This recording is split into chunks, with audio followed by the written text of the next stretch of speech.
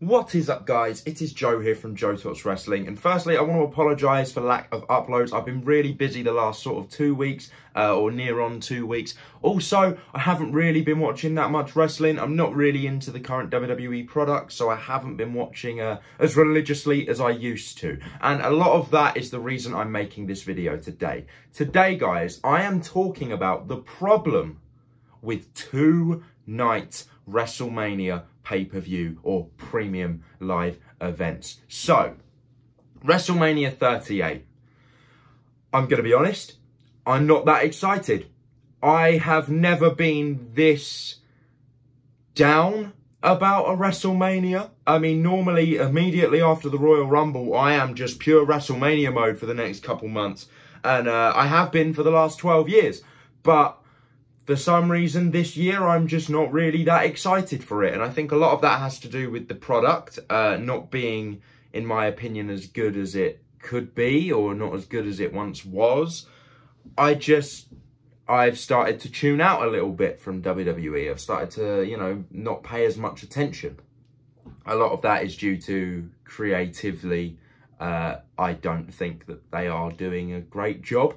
Um, and it's not really for me right now. You know, I'll pay attention to the main sort of storylines, you know, the Seth Rollins stuff, the Kevin Owens stuff, uh, you know, obviously Roman and Brock, definitely, Becky and Bianca, uh, you know, stuff like that I actually pay attention to, but the other stuff, not really. So that's why I want to talk about the issue with Two Night Manias.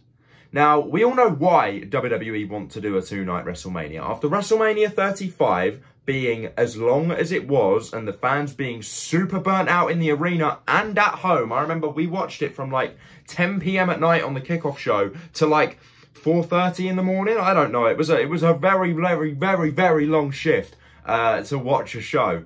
And that's why they're doing the two night manias. Now, don't get me wrong, there is pros to it. Obviously, there's more opportunities for talent. You've got uh, two individually shorter pay per views, you know, obviously overall length about eight hours, but four hours a night, it's a pretty decent run time. Uh, but when previous WrestleManias that are one night have been about four hours, you know, it's it's one of them, do you really need to do two nights? Because when you do a two-night WrestleMania, you've got to think about it realistically, okay?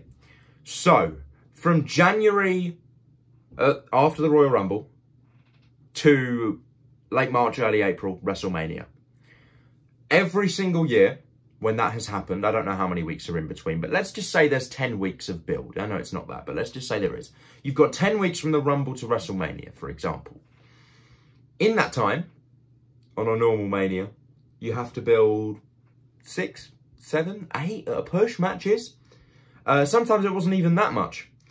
And you've got to do that every week for 10 weeks. Add something to that storyline, right? And you've got two shows. So let's say we have eight matches, four from Raw, four from SmackDown. That's 10 weeks, 10 shows to build four storylines. Easy, right? You can have a nice build in that time.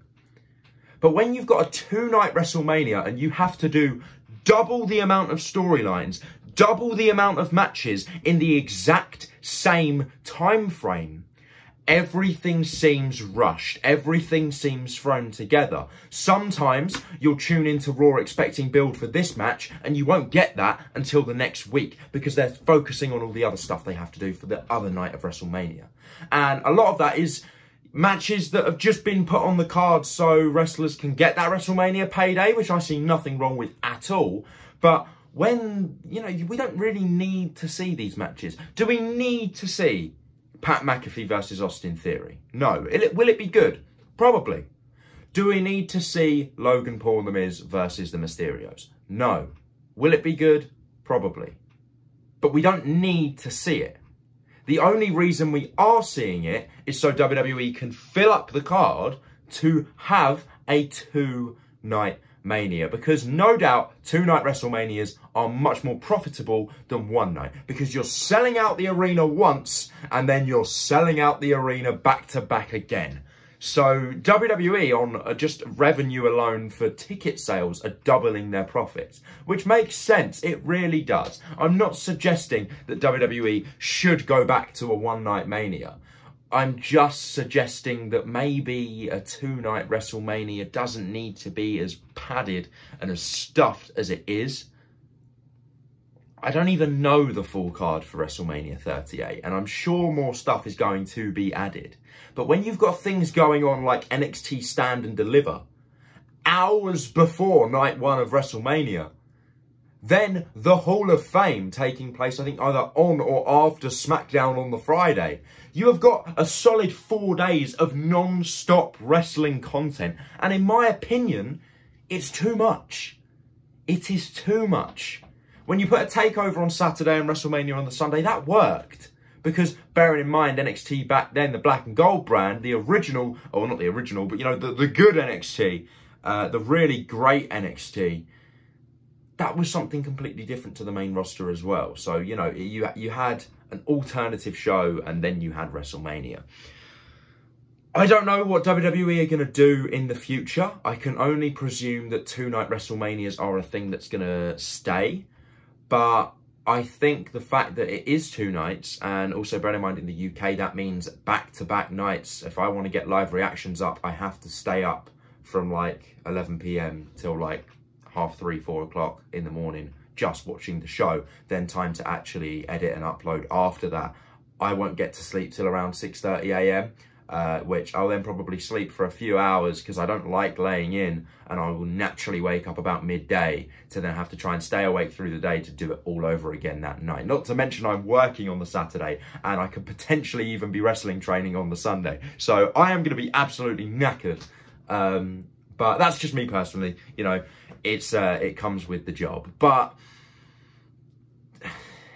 I think it can be exhausting uh, when you have two standalone pay-per-views. And bearing in mind, if you're doing it that way, both nights have to live up to the hype. You can't have night one WrestleMania be super, super boring and then night two be fantastic. They have to match each other. And I think WWE are just, at the moment, uh, my personal opinion, I think they are setting themselves up with a lot of work uh, and a lot of pressure for a creative team that can't necessarily deal with those storylines. And don't get me wrong, once again, there is some great storylines going in. The one I mainly forgot to mention, can't believe I forgot to mention it because it's one of the matches I'm looking forward to the most. Edge versus AJ Styles. Wow, I cannot wait for that. Um, but I have no doubt in my mind the matches are going to live up to the hype, but I just don't think going in the storylines have been, which has then made me tune out uh, I haven't been watching much. You know, there, there's a Fatal 4-Way Women's Tag match on that card, and I have no idea what's gone in it, on in that build because I haven't really been paying attention. And for a casual fan, as uh, I guess building up to WrestleMania, I have been a casual fan because I've only been watching little bits. You know, if you're not going to put in loads of time and effort into a storyline, there's no point just throwing it together on the card, in my opinion. You might as well put time and effort in, make it worthwhile, make some money with it, and then put it on the show. But I don't know. Hopefully WrestleMania 38 is going to be great.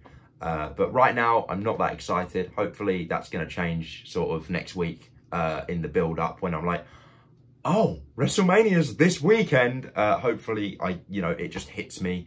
Um, but overall, my lack of excitement really made me think about maybe is it because it's two nights? Uh, and then I wanted to talk about the problems with two nights, which I mentioned. I think this video is just a bit thrown together. It's just me talking, uh, just giving my honest opinion because I feel like I'm not that excited this year. And I quite want I, I really want to know if you guys feel the same. Um, I think it's a lot to do with build. I, I, don't know. Let me know in the comment section down below. Anyway, that was my opinion on the problem with two-night WrestleManias. Sorry if this video does seem a bit thrown together. I just wanted to set the camera up and talk. We're already getting to 10 minutes, which is absolutely crazy. Uh, so if you're still here, congratulations. Uh, please be sure to give this video a like, comment, and subscribe. I've been Joe from Joe Talks Wrestling. You guys have been awesome. Stay tuned for more wrestling content, and I will see you in the next video. Goodbye.